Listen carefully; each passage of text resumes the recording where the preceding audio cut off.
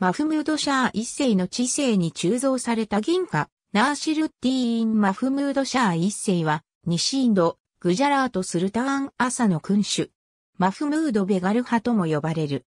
1458年、叔父、ダーウード・シャーが死亡したため、王位を継承した。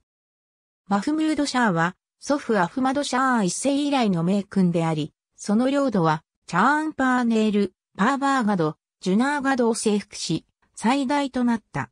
彼の別名、ベガル派は二つの都市を意味し、チャンパーネールとジュナーガドにちなんでいる。また、ジュナーガドの近くには、ムスタファーバードが、チャンパーネールの近くには、ムハンマダーバードと新しい都市がそれぞれ建設された。マフムートシャーの知性、グジャラート・スルターン・アサは最盛期を迎えた。その知性のインドで最も強力な国家の一つとなり、価値統治に行き届いた国家となった。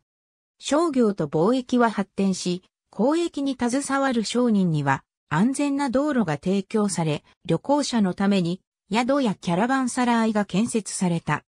とはいえ、マフムードシャーは西アジア諸国の交易に関与し、勢力を拡大してきたポルトガル勢力とも対決しなければならなかった。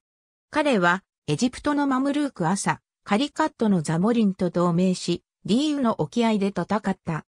戦いに敗北した後、ポルトガル人にはディーウに在外召喚の用地を与えた。1511年11月23日、マフムードシャーは死亡し、息子のムザッファルシャー2世が王位を継承した。ありがとうございます。